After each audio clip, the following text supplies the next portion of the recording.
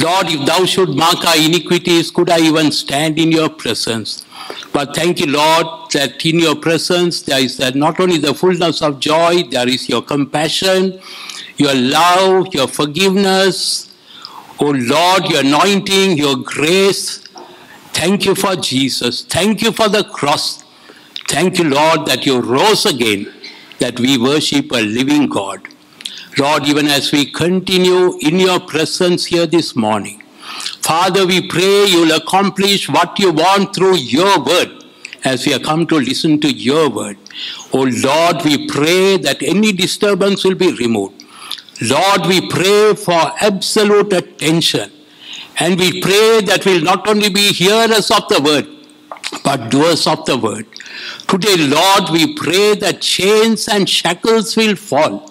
Oh Lord, today will be a day of breakthrough. Oh Lord, today is the day where the snare of the enemy has been broken in the mighty name of Jesus.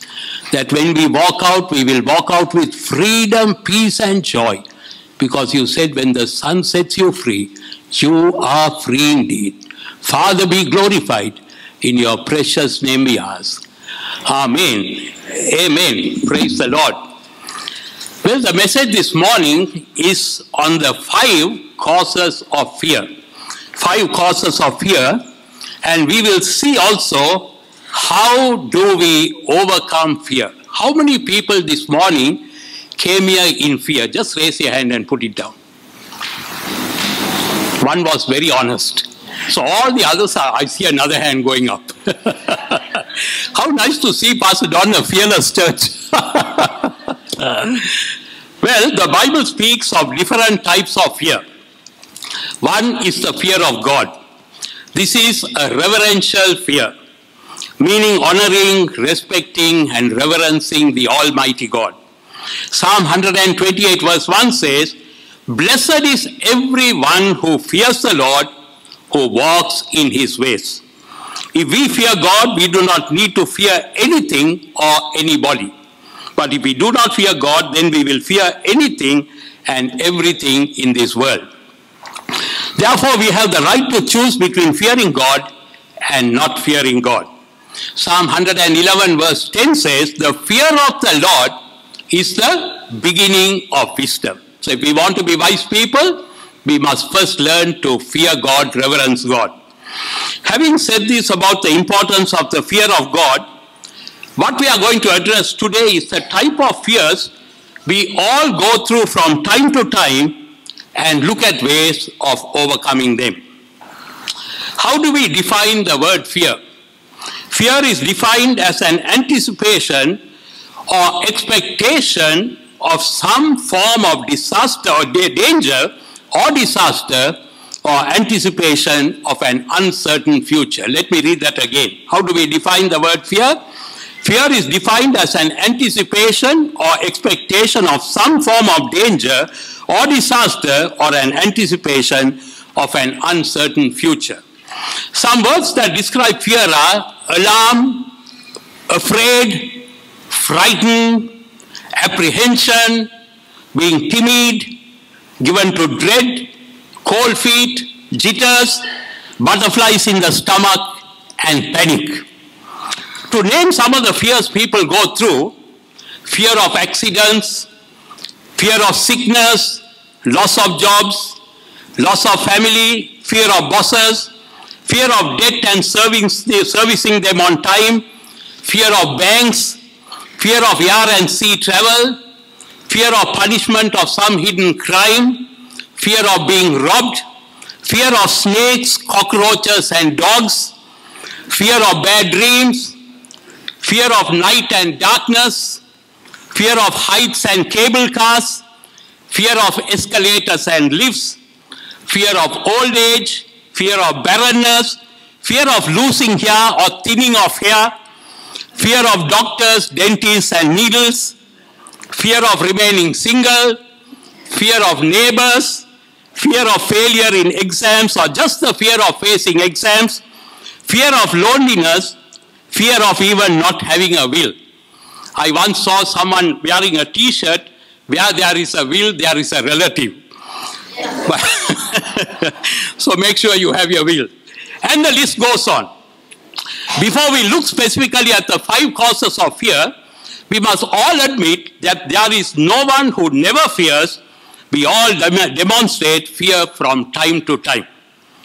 Let's look at some of the biblical personalities who feared.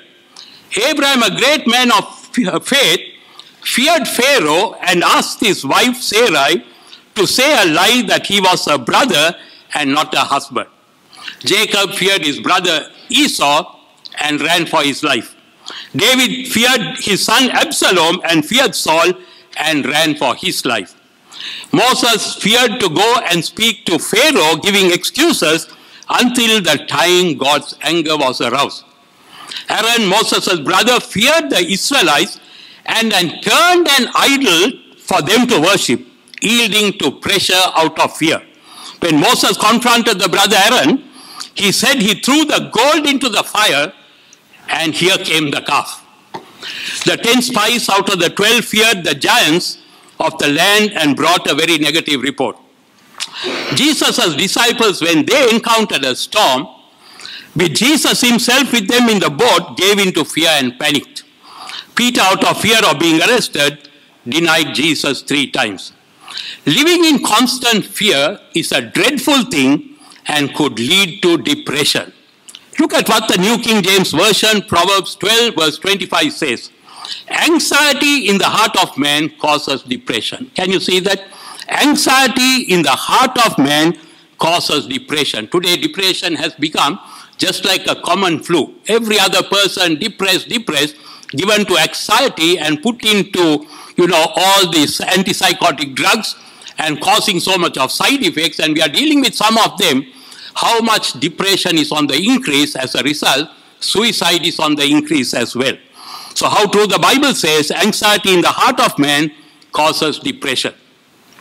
It often happens that what we fear eventually comes to pass. What we fear eventually comes to pass. Look at what Job said in Job chapter 3 verse 25. For the thing I greatly feared has come upon me, and what I dreaded has happened to me. Job does not explain what exactly was the thing that he greatly feared or dreaded. It could have been in relation to his health, his family, his wealth, as he was affected in all these areas. Or could have been in relation to the worldly sinful lifestyle his children led, for which he made daily early morning sacrifices to the Lord, according to Job chapter 1, verse 4 and 5. Now, speaking about the things we greatly fear that comes to pass, when we were in Sydney, we were part of a Foursquare Gospel Church.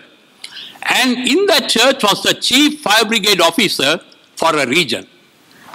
Now, every time he ran, responding to a call of emergency, he always had the fear I don't know one day whether I will see my children in such an accident. And one day, his son and the two daughters were driving and they met, on, met with a head-on crash and the father didn't know who it was, went to the site and he thought, my, this looks a very familiar car. And lo and behold, his son instantaneously, instantly died and the daughter was taken to the Liverpool operation for, uh, uh, hospital for emergency operation and she died. And the third son was in a coma but recovered and later on, when we met him, he said, you know, often when he rushed to a scene of an accident, he was fearful that someday it could be his own children. And it happened. Can you see what fear we give into comes to pass? I was working for a company by the name of Wellcome Foundation or Burroughs Wellcome. Today it's part of GlaxoSmithKline. So when I was appointed CEO of the Sri Lankan operation, I was sent to London for some training. And there was a helicopter that was going from a place called Berkhamsted, those who are from UK will know, to a place called Kent to our research laboratories. And there was a VIP who had come from Indonesia who was traveling in that helicopter.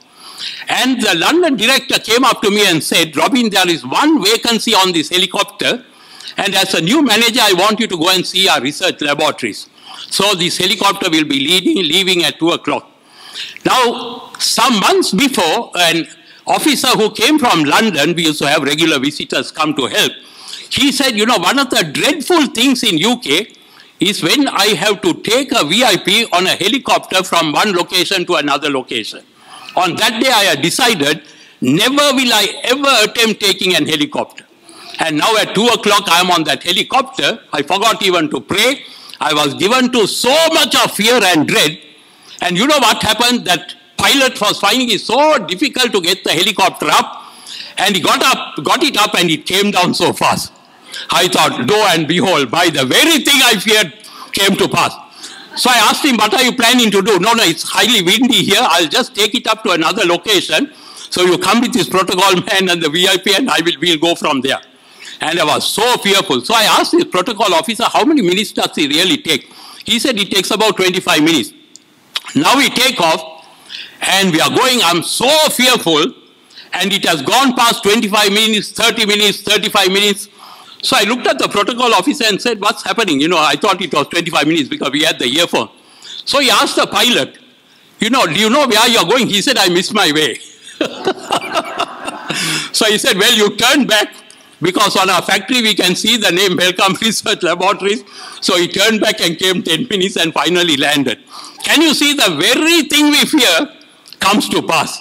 So today, church, if you are fearing something, fearing of an accident, fearing of something, today rebuke it in the name of Jesus and say, I'm not going to give in to fear. How do we deal with such fears?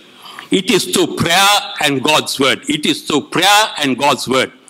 Look at what Job chapter 11 verses 13 to 18 says. Job chapter 11 verses 13 to 18.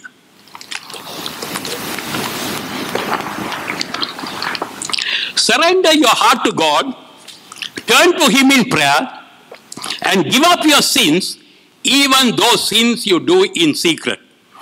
Then you won't be ashamed. You will be confident and fearless. Your troubles will go away like water beneath a bridge, and your darkest night will be brighter than noon.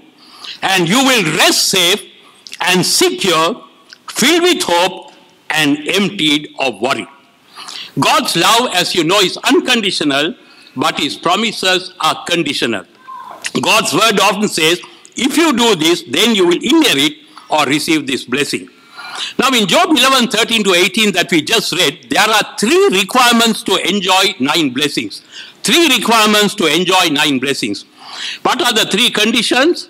Surrender your heart to God, turn to Him in prayer, give up your sins, even those done in secret. How do we give up our sins, including the secret ones? It is by genuinely confessing our sins and not repeating it. Now, how often we might think, you know, those secret sins that we are doing are not being seen by anyone. Your husband might not know, your wife might not know, or children might think my parents don't know. But let me tell you, according to Psalm Proverbs 15 verse 3 says, the eyes of the Lord are in every place, keeping watch on the evil and good. We might not think we are, no one is watching, we are doing things in secret, but one is watching, the all-knowing God. And the psalmist says in Psalm 101, verse 3, I will set nothing wicked or a vile thing or a vulgar thing before my eyes. So today, even if you are watching pornography on the slide, today let us say, Lord, today is the end of it. I rebuke it and from today I will not touch it because I know you're watching. What are the nine blessings of these three conditions that are, are met? You won't be shamed. You will be confident and not timid or nervous. You will be fearless away from fear. Your troubles will be like water under the bridge. It means it will pass away just like water flowing under the bridge. The dark night you go through will turn brighter than noon. You will rest well, having an undisturbed, peaceful sleep. You will be safe and secure. Your protection is assured. You will be filled with hope. Do not fear. You do not have to fear an insecure future or being even afraid of redundancy. You will be emptied of worry. Instead of worry, you will be filled with the peace of God. Therefore, to overcome fears, each morning empty ourselves of our ego, arrogance, pride, self-centeredness, selfish ambition and ask the Lord to fill us with His Holy Spirit. The more we empty ourselves, we can ask the Lord to fill us with His Holy Spirit so that we come under the direction and the control of the Holy Spirit. Surrender each day to the Lord, our body, soul, and spirit, our emotions and feelings in prayer. Hand it over to Him. Confess all known sins in godly sorrow and then receive all the blessings the Lord has promised. Another powerful way of overcoming fears and driving Satan out of our sight is to claim God's promises and pray scriptures. That is the way the Lord dealt with Satan when he came to tempt the Lord when Jesus was fasting and praying in the wilderness for 40 days. What did Jesus say? Told Satan, It is written, it is written, it is written. And he backed off. Now, when you pray scriptures, right, who hears it? You hear it. Isn't that right? Say, for example, Zephaniah 3.15, I love that verse. I have taken away all judgments against you. Cast out your enemies. The king of Israel, the Lord is in the midst of you. You shall fear evil no more. Now, when you pray that scripture, who is hearing? You're hearing it. Isn't that right? And faith comes by hearing, hearing by the word of the Lord according to Romans 10 17. And when you pray scriptures, who is hearing? The Lord is hearing and he honors his promises. The answer comes first. Thirdly, who is hearing? Satan is hearing and he can't stick scripture and he backs off. In fact, in one instance, he told Jesus, It is written. And according to Matthew 4 6 and 7, Jesus said, It is also written. Satan also knows scriptures, he can use it, you know, he can just misinterpret it, but we must know the precise scripture to say it is also written, and that's the way to see Satan back off from our fears. In Psalm 34, verse 4, King David says, I sought the Lord, and he answered me and delivered me from not some of my fears, but all my fears. 2 Timothy 1 7, for God has not given to us a spirit of fear, but of power, which means courage and boldness, love, perfect love casteth out fear, and a sound mind. Today we need a sound mind so that we can be self-controlled. So fear is a spirit. It is an evil spirit that torments us with fear. But God has not given to us a spirit of fear. Psalm 119, 165 says, Great peace have those who love your law. That is, those who love God's word will have great peace and nothing can make them stumble or offend them. Proverbs 133 says, But whoever listens to me will dwell safely and will be secure without fear of dread or evil. Why do we have dread? Why do we give in to evil? Why are we being tormented? It is just because we are not obeying the voice of God or we hear the voice of God, we just keep doing our own things and we'll be tormented and tormented and tormented by the enemy because we give an open door for the enemy. Haggai chapter 2 verse 5 says, My spirit remains in you, do not fear. Church, if you are spirit filled, you have the Holy Spirit in you, we do not need to fear because my spirit remains in you, do not fear. Apparently, there are 365 fear nots in the Bible, one for each day. God's word says, Fear not. Satan says, Fear, fear, fear. The song goes, Because he lives, I can face tomorrow. Because he lives, all fear is gone. And I know, I know he holds the future, and life is worth the living just because he lives. Do you know that chorus? Let's sing it. Because he lives, I can face tomorrow. Because he lives, all fear is gone. And I know, I know, I know he holds the future. And life is worth living just because he lives. Now, what is the opposite of fear? It is faith. And what is the acronym for faith? F-A-I-T-H. Feeling afraid, I trust him.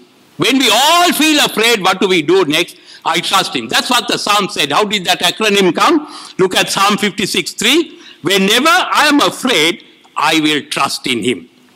Now let's look at five main causes of fear and find scriptural ways of overcoming the fears so that we could lead a life of peace, joy, faith and a life of victory in the Lord Jesus.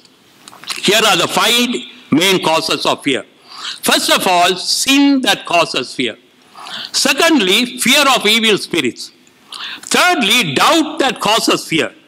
Fear that comes by looking at our circumstances. Fourthly, fear of man. And fifth, fear of death. Now let's look at the first one, and that is the first cause of fear, and that is sin. What does the word sin mean? It means lawlessness or no regard for the law. Sin is transgression of God's will either by not doing what God's law or word requires or by doing what God's law forbids. Transgression means law breaking or violation or rebellion against the law, overstepping or disregarding defined limits or boundaries. Transgression can occur in three ways. One is it can offer by it can occur by our thoughts. A sudden evil thought cannot be prevented. But cultivating on that evil thought or evil thinking is sin. Did you get it? Suddenly a evil thought comes. Right? What do we do? We immediately turn our face. In fact, Billy Graham said, it is not the first look of that pretty woman that gets you into trouble. It's the second look. Right? So turn your head away, turn your eyes away, so that you don't fall into sin, and that can be adultery and so on. So we must deal with our thought process by taking our thoughts captive by the word of the Lord. Then translation can occur in word. The words of criticism, gossip, swearing, lies, and so on. Proverbs 18:21 says, Death and life are in the power of the tongue. Therefore, do not speak negative words. The more and more you speak negative words, only negative things will come to pass. It will come to pass. So start speaking promising, edifying, and, and words that are full of grace. The words we speak can determine our destiny. Next, in our deeds, in our actions, uh, in example, in our unforgiveness, stealing, physical abuse, and so on. Let's deal with it. How did sin enter humanity? It happened when Adam and Eve violated the clear command from God by eating the forbidden fruit in the Garden of Eden. Adam and Eve had total freedom to freely eat fruits from every tree with the exception of one. The tree of knowledge of good and evil, the Lord said you can eat of everything, but out of that one tree, don't touch it. They were clearly told in the day they eat it, the punishment would be they will surely die. In fact, they were told, you shall not eat of it. You shall not touch it. You shall not eat of it. You shall not touch it. In other words, do not get close to it. It is like our being born. Don't go close to that liquor shop. Don't go close to that brothel or nightclub. Don't surf that website which will finally lead you into pornography. Don't get close to that man or touch that woman or go with him or go out with him or her. Do not consume that drug. Fear followed the first sin in the Garden of Eden. Therefore, sin causes fear. In Genesis 3 9, God asked Adam, Where are you? In verse 10, Adam responds, I heard your voice in the garden, and I was afraid or feared because I was naked and hid myself. Why did Adam have to hide from God and be fearful? It was the result of sin and guilt. Adam knew nothing of fear before his sin. His sin caused fear. That will be the case in our lives as well. Our past sins, our present addictions, some old hurt or hurts or some unforgiveness or bitterness may be causing us to hide ourselves from God and hindering our relationship with Him. Just as God came searching for the first sinners in the Garden of Eden, when He could have pronounced them dead, the Lord is here today with all His love to restore us back to Him. If we only repent, confess, and receive His forgiveness. 1 John 1 9 says, If we confess our sins, He is faithful and just to forgive us from all our sins and cleanse us from all our unrighteousness.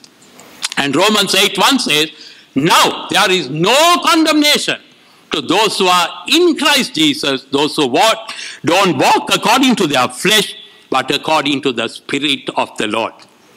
Let's look at the second cause of fear, which is the fear of evil spirits. I have heard Christians say, I hear strange or weird voices. I fear nights and darkness.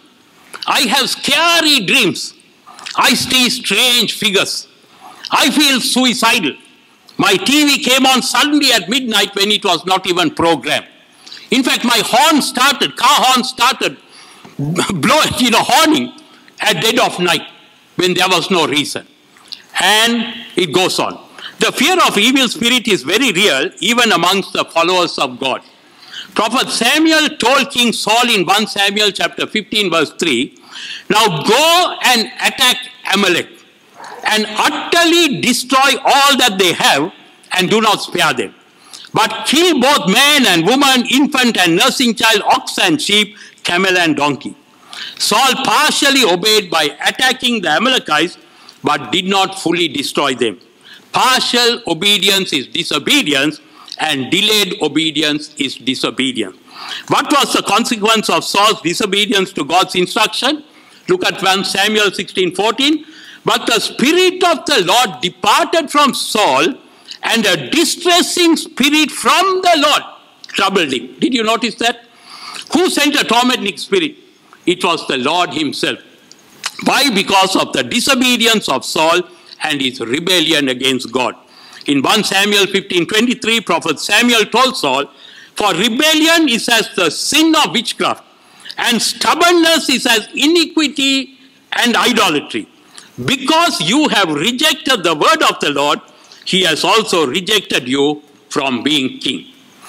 Not doing what God tells us to do is as sinful as dabbling or playing around with witchcraft, which is like sorcery, black magic, occult, and divinations, and so on.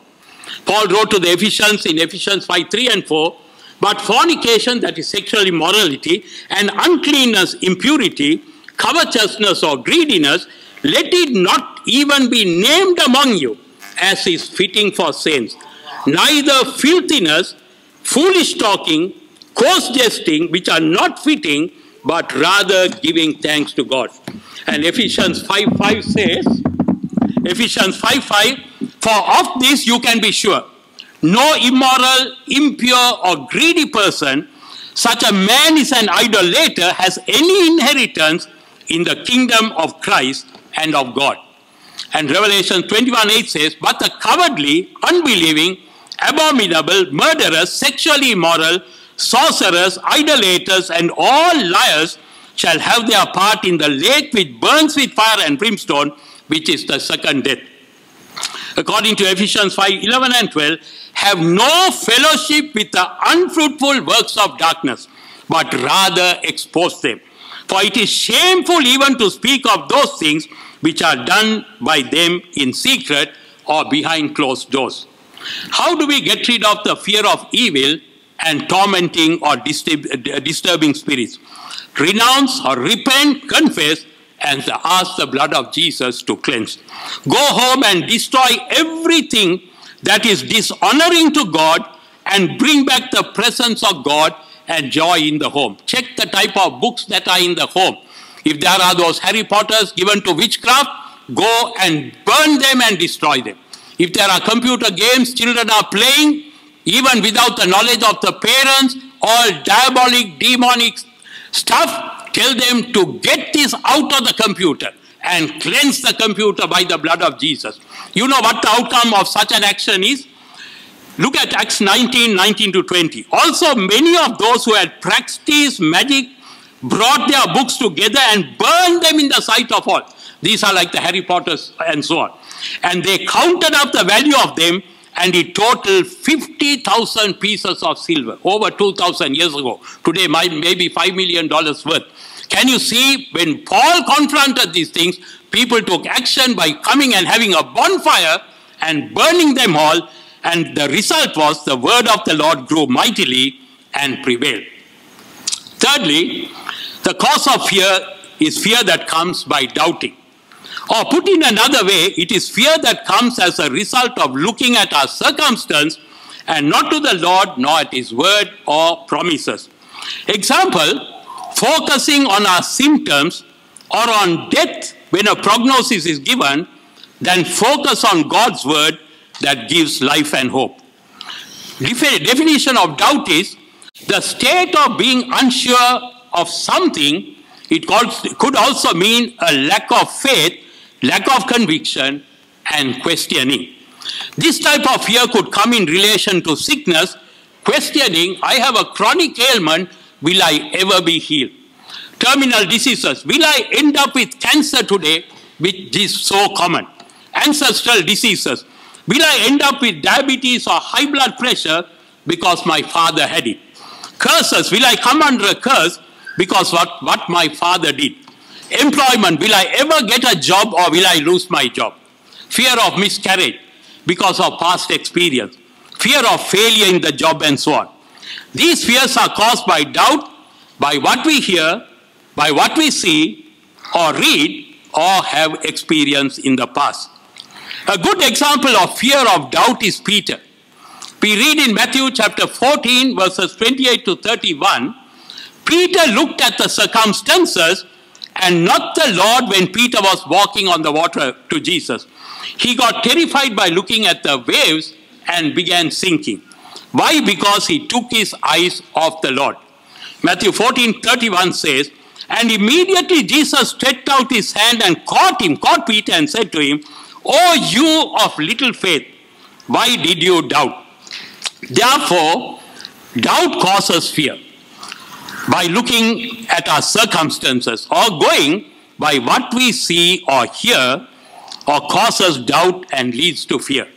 2 Corinthians 5 7 says, For we walk by faith and we don't walk by sight. That is, we don't walk by what we read or see or hear, but by God's word and his promises. In August 2002, specifically on the 2nd of August 2002, I was at that time called to speak at a faith community church for three uh, uh, consecutive evenings.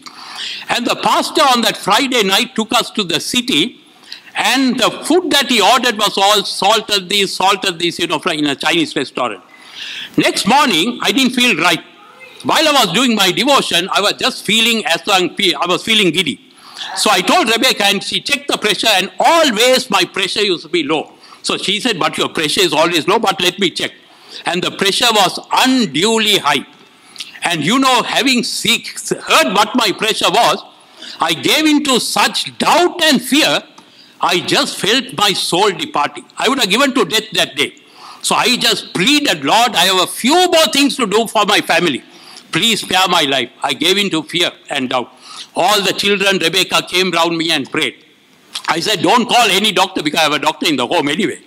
And they prayed. So Rebecca said, no, no, by afternoon the pressure will come down. I think she had a diuretic tablet, gave me a diuretic tablet. And you know what happened? When she checked the afternoon, the pressure had gone more high and my pulse was some 127. I gave in to more fear and she called Dr. Sandy Goldstone home. And they came and they were so nice and so prayerful and they said, well, you have to take this medication for life. And I gave into such fear and doubt. For two to three years, I suffered with this affliction. Before going to preach, I feel very giddy. I used to wonder whether I'll fall off the pulpit, you know, behind the pulpit. Two to three years I suffered because I gave into fear. And one of my dear friends, I told him, you know, even while the worship is going on, I'm in church, I sway you know, I feel giddy. So he said, you charismatics anyway say, so it won't be a problem to you. He was a very ardent Baptist at that time. He said that should be part of your life anyway. but you know why I'm saying this is two to three years when, and I prayed, Lord, I can't go through this anymore. Today I rebuke this doubt. I rebuke this fear in the name of Jesus. And what a wonderful peace came. And Rebecca told me that day, she didn't even know what I had prayed. I'm going to reduce your medication. And she reduced the medication. From that day, the pressure, you know, stabilized. You know what had happened? I was taking excess medication. It was bringing the pressure down. I got so fearful, it sends the pressure up. Rebecca had to even go and hide the pressure gauge, you know, because the moment I see it, it shows my pressure. She had to hide it somewhere in the home that I'll never see. She said, no point in taking your pressure, it's only doing damage. But can you see what happens when we give in to doubt and faith? Today, uh, doubt and fear. Today, if you are going through such a thing, rebuke it in the name of Jesus and say, enough is enough. But you know, praise God from after a while after that, my medication was completely removed and by God's grace, I'm without medication for high blood pressure. Because the doctors will tell you, from the day you take it till you die, you have to be on it. Not necessary. You can pray it out in the name of Jesus because God has given us that authority because we want to lead a wholesome life. Amen. And then in September 2009, I came to buy a house in Perth because we were moving from New Zealand after three years and the prices were awfully high 2009 not like what it was here is today and the agent told me from lj hooker well i have given up with your budget i just cannot i have hit a brick wall. That's all i can do. But i didn't walk by sight. I walked by faith. It was two houses were selling like hotcakes prices so high. So one day i prayed lord i got one more week to go. I need a house. And we have prayed for a display home a home that no one has ever lived in. And it looked totally out of the market to even pray a prayer of faith. Those who have been to our home know. You know, we got that home in the peak of the market at 60,000 below the market price. And the agent said this had to be your God because at every turn she got prayed. And she swears, you know, she's one of these famous agents in uh, Western, I mean, in Perth. And every time I said, just stop here, let me pray. Just, she said, you'll make me a Christian at this rate. I'm teaching you a better way to sell houses. Let's pray. And one day she came and said, you know, that was a miracle you got the house. 60,000 below the market price. Can you see, when we give in to doubt, then we don't get what we want. The more we exercise faith, it doesn't matter how the market runs. It doesn't matter whether redundancies are on. God will take care of his children who don't walk by sight, who walk by faith. Has some degree of doubt caused you fear in terms of your job or business, your finances, your death, your health, your marriage, children, or the future? The Lord says, do not look at your circumstances around you. Don't look at the storm. Don't look at the economic situation in the country. It's going to get worse and worse.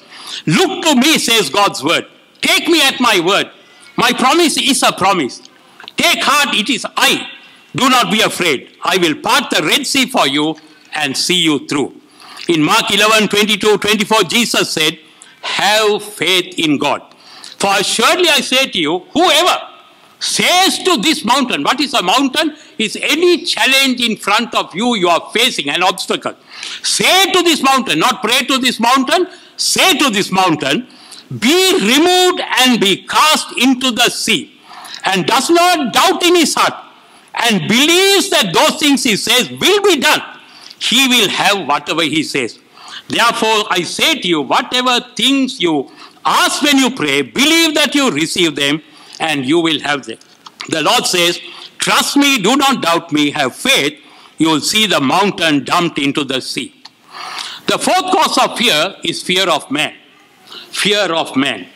The fear of man is quite common even amongst Christians. We fear people because of the opinion of people a common thought is, what would so and so think of me or say about me? In homes, husbands tend to fear the nagging wife. Wife is terrified by the husband with a bad temper or fits of rage. Parents are fearful of their own children. I can tell you, sometimes when I tell the parents, you know, why don't you deal with this and just lovingly advise your parents, oh, pastor, can you please do it? A 12 year old son, why can't you do it? Oh, there'll be pandemonium if I talk to him. See how parents are now today given to fear of their own children. Daughters-in-law fearful of the mother-in-law, mother-in-law in uh, fearful of daughter-in-law. In school, children fearful of their teachers and fearful of bullies. At work, fear of bosses, supervisors and colleagues. In ministry, sometimes fearful of leaders. Praise God, we don't need to fear our leader. He's such a beautiful, you know, loving pastor. But I know we had a pastor in Singapore was so tough, but such a loving pastor that Rebecca, even after we moved from the church, she was scared of him. So sometimes people are scared of their own pastors. Proverbs 29 25 says, The fear of man brings a snare, but whoever trusts in the Lord shall be safe. The NLT version says, Fearing people is a dangerous step, but to trust in the Lord means safety. Great men of God feared man and woman. Elijah feared that wicked queen Jezebel and asked God to take his life. Can you imagine? Elijah just slaughtered 450 prophets of Baal. But when one woman sent a message by tomorrow at this time, I will get your head, he ran for his life. So sometimes how women's words can be so powerful that husbands run for their life. so let's be careful with the words we speak. And let's not be given to intimidating words like Jezebel. David feared his own son Absalom while he was king and ran for his life, though he brought down a Goliath with a stone when he was a simple shepherd boy. King Saul told Prophet Samuel in 1 Samuel 15 24, Because I feared the people and obeyed their voice, I have sinned and transgressed the commandments of the Lord and your word. What was the consequence of Saul fearing people? 1 Samuel 15 26, Prophet Samuel told Saul, You are rejected from being king of Israel. In fact, he also said, There is someone better than you is who is going to be appointed. God has better people in store. None of us are indispensable. Let us make sure we do things in the right fashion as God has called us. The question is, how can we be freed from the fear of man? Ask the Lord to give us the boldness by being filled with the Holy Spirit. Jesus said in Luke 11 13, If you fathers who are evil know to give good things for your children, how much more your heavenly Father will give the Holy Spirit to those who ask Him. Peter, covered who denied the Lord thrice for the fear of people, turned to be courageous and bold from the day of Pentecost when he was filled with the Holy Spirit. How do we bring back courage and boldness? Ask the Lord to fill us with His Holy Spirit. Psalm 56 4 In God I will praise His word. In God I have put my trust. I will not fear. What can flesh do to me? What did the psalmist say in Psalm 27 1? The Lord is my light and my salvation. Whom shall I fear? The Lord is the strength of my life. Of whom shall I be afraid? Romans 8 31. If God is for us, who can be against us? If God is for us, who can be against us? And Genesis 15 1, God tells Abraham in a vision, Do not be afraid, Abraham. I am your shield. I, your exceedingly great reward. Therefore, don't fear man or be intimidated by man. Let God be your refuge. The final one, fifth cause of fear, the fear of death. According to Ecclesiastes chapter 3, verse 2, there is a time to be born and a time to die. Nothing can prevent that. Only suicide, I suppose. There is a time to be born, there is a time to die. The Lord has already fixed those dates. And Ecclesiastes 9:15 says, For the living know that they will die. As living people, let us know one day either we'll go in the rapture or if it's before that, we will die. Hebrews 9:27 says, And as it is appointed for me to die once, but after this the judgment. Death shows no partiality whether young, middle-aged or old. From day one, the Lord Jesus knew that he had come to this earth with one purpose to die. However, Jesus handled the fear of death when his hour of death was drawing near and when he began to deep, be deeply sorrowful and deeply distressed. As in Matthew 26, 27, 38, how did Jesus overcome this? Through prayer and the hope of resurrection. Through prayer and the hope of resurrection. Let's, first of all, prayer. When the fear of death gripped the Lord Jesus, the Bible says he prayed, Oh, my Father, if it is possible, let this cup of this suffering be removed from me. Nevertheless, not as I will, but as you will. Secondly, the Lord Jesus handled the fear of death through the hope of his resurrection. He endured the cross, he went through that excruciating pain, he was humiliated, he suffered in anticipation of the joyous resurrection and ascension to his Father. He despised the shame because of the anticipation of his resurrection. If we as believers in Jesus Christ fear death, I have great news for you today. Jesus said in Matthew 10 28, and do not fear those who kill the body, but cannot kill the soul, but rather fear him who is able to destroy both soul and body in hell.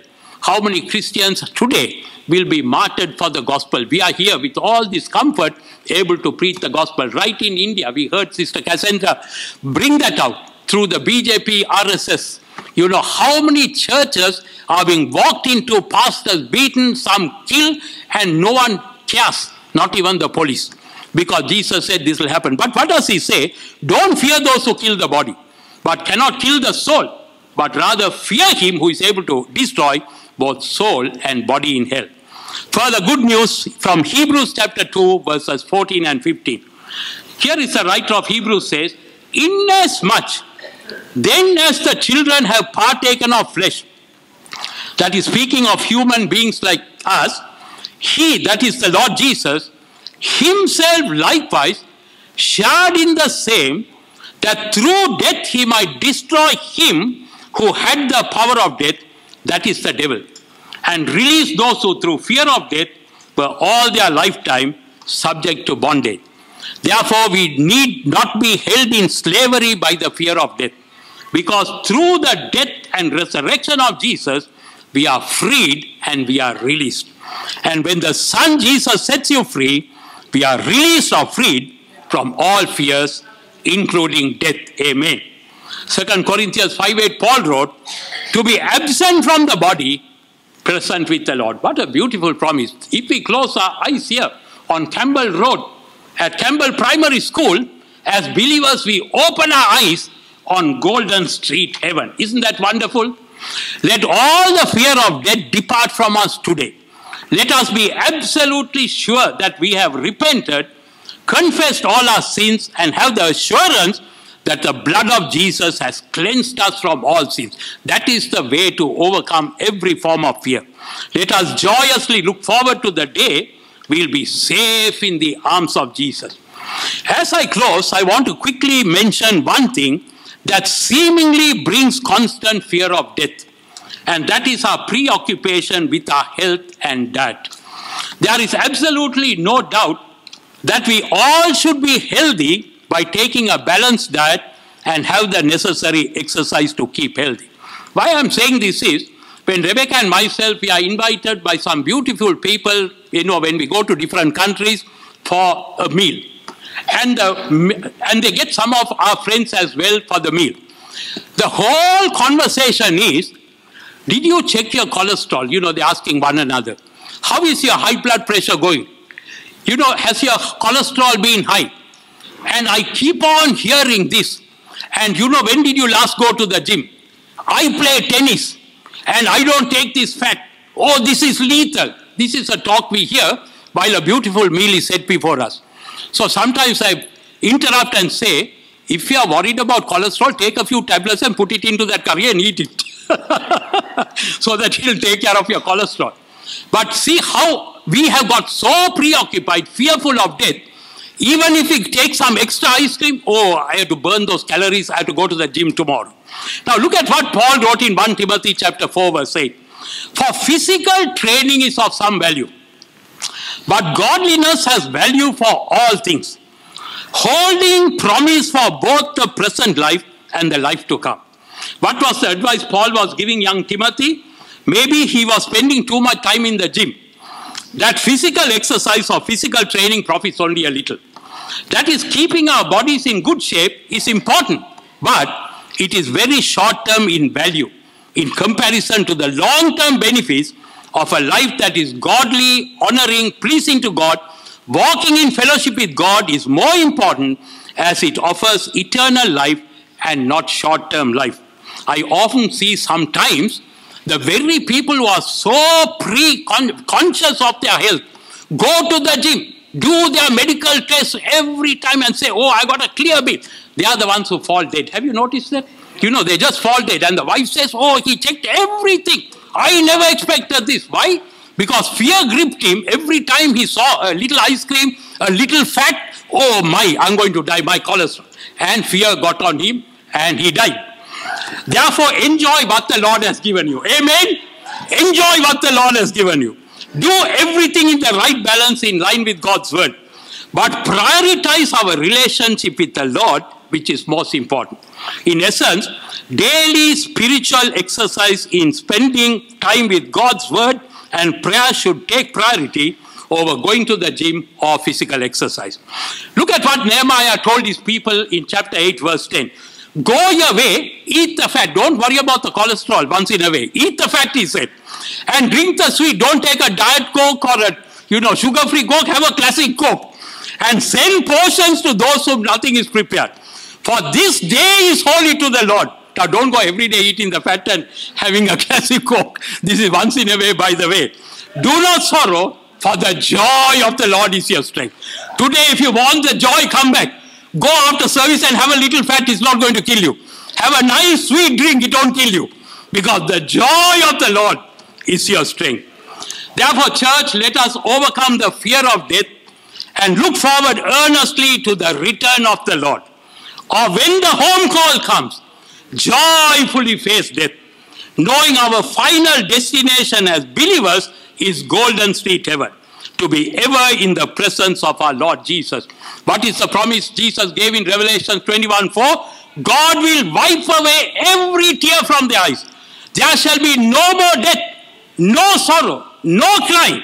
There shall be no more pain, for the former things have passed away. So the Lord wants to set us today free from five things our past and present sins that has caused us to live in guilt and condemnation. Also, to deliver us today from any addiction the enemy has bound us with. Today, pray, I'm going to be unbound in the name of Jesus. Secondly, the Lord wants to deliver us from all fear of evil spirits. Thirdly, deliver us from fear because of our doubt or lack of faith. Fourthly, the fear of man or woman. And fifthly, from the fear of death. Jesus said in John 18, 8, 32 and 36, and you shall know the truth. Who is the truth? The Lord Jesus. And the truth shall make you free. Therefore, if the Son makes you free, you shall be free indeed. You can walk out from here in total freedom in the Lord Jesus because where the Spirit of the Lord is, there is freedom and liberty. Church, shall we all stand up? I'm not going to ask you to put your hands up. We all go through fear. I go through fear. Can you just take a moment and tell the Lord what fear you came with? Be honest with the Lord. And if you are in any secret sin, tell the Lord today, Lord, I repent of it. Your eyes are watching over it. And I want today to get myself out of it. If you have other fears that have been addressed, today ask for the blood of Jesus to wash away all your sins. Let's take two silent minutes to address this with the Lord and let, let me pray.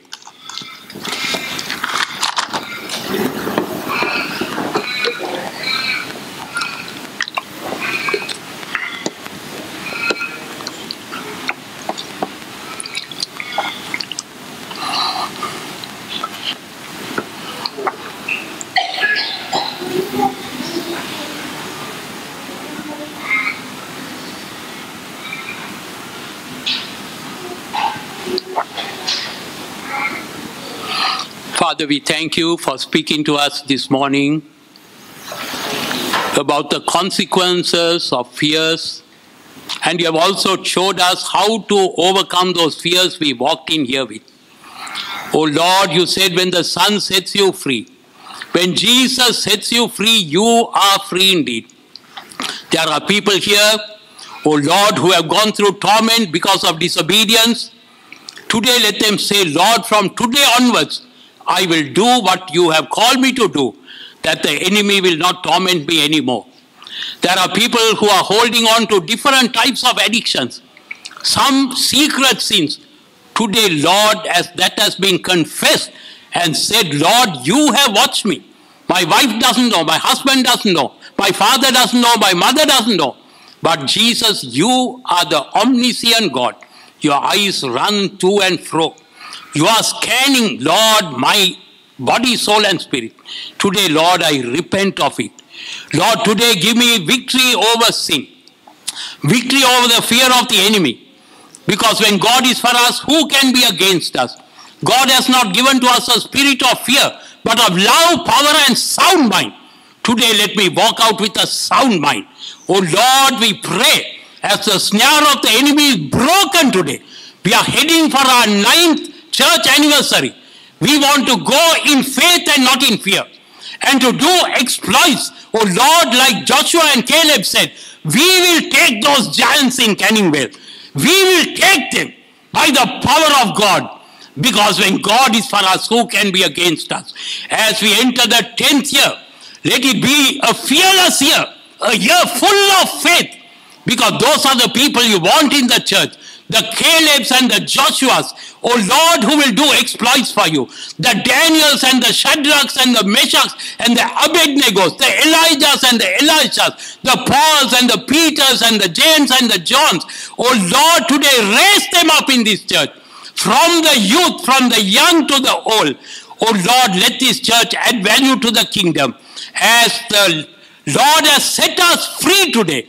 Thank you, Father we can walk in that freedom in the Holy Spirit. We give you all the honor. We give you all the glory for what you did on the cross for a sinner like me. Thank you, Jesus.